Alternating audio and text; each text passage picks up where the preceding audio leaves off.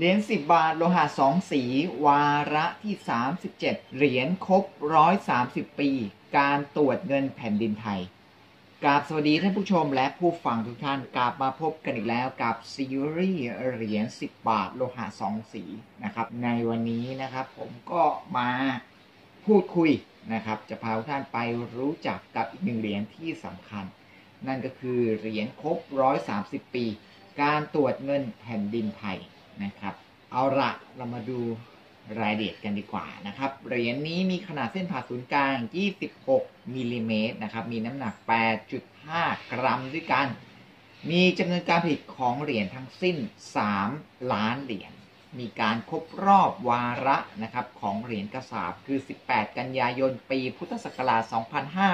2548 มีการประกาศออกใช้งานเหรียญนะครับ วันที่ 23 กุมภาพันธ์ ปีพุทธศักราช 2549 นะครับจำนวนการผลิตของเหรียญมีทั้งหมด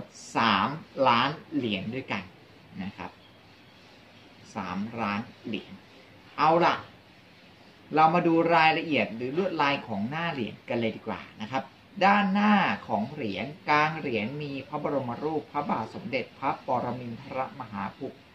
จุฬาลงกรณ์พระจุลจอมเกล้าเจ้าอยู่หัวรัชกาลที่5นะครับและพระบรมรูปพระบาทสมเด็จ พระปรมินทรมหาภูมิพลอดุลยเดช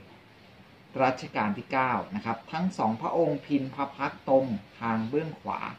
ทั้งสองพระองค์ทรงฉลองพระองค์สากล ภายในวงขอบเหรียญด้านบนนะครับด้านบนขวามีข้อความว่ารัชกาลที่ 5 ด้านซ้ายมีข้อความว่ารัชกาลที่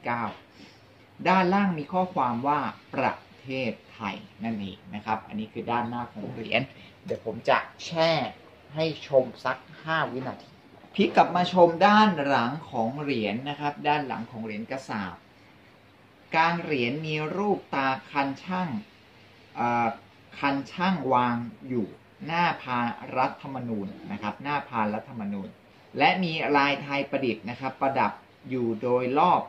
นะครับ ภายในวงขอบเหรียญด้านบน มีข้อความว่าครบ130ปี การตรวจเงินแผ่นดิน 18 กันยายน 2548 นะครับ ด้านล่างมีข้อความบอกชนิดราคาคือ 10 บาทไทยนะครับ โดยมีจุดขั้นระหว่างข้อความด้านบนกับข้อความด้านล่าง เหรียญนี้ก็จะเป็นการครบรอบ 130 ปีนะครับ การตรวจเงินแผ่นดินไทยสำหรับเหรียญนะครับ ชนิดราคาเดียวกันในวาระอื่นๆนะครับ จะไม่มีนะจะมีแค่เหรียญนี้เหรียญเดียวใน